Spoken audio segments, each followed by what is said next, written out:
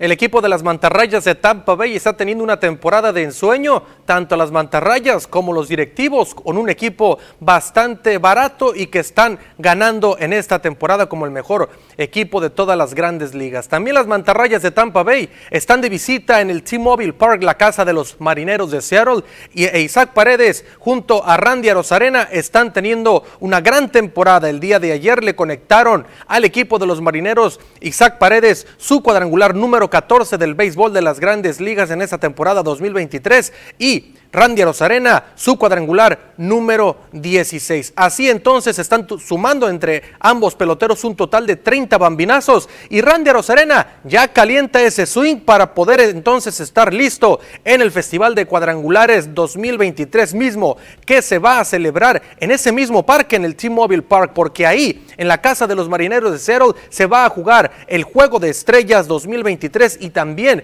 el Festival de Cuadrangulares un día antes. Randy Rosarena eh, está teniendo una gran temporada y además de eso su primera convocatoria al Juego de Estrellas y también al Festival de los Bambinazos. Isaac Paredes entonces no va al Juego de Estrellas, pero de que está teniendo una temporada la mejor de su carrera con el equipo de Tampa como titular de la tercera, titular en el campo corto o en la segunda donde lo coloque, Kevin Cash está haciendo un gran trabajo y Wander Franco se está abajo en la carrera debido al mal comportamiento que está teniendo con sus compañeros y eso le ha provocado varias suspensiones de juegos y los está aprovechando el mexicano, el hermosillense Isaac Paredes con el equipo de Tampa. Vamos a ver entonces a cuántos cuadrangulares llegan ambos mexicanos, uno nacido en Hermosillo y el otro en La Habana, Cuba.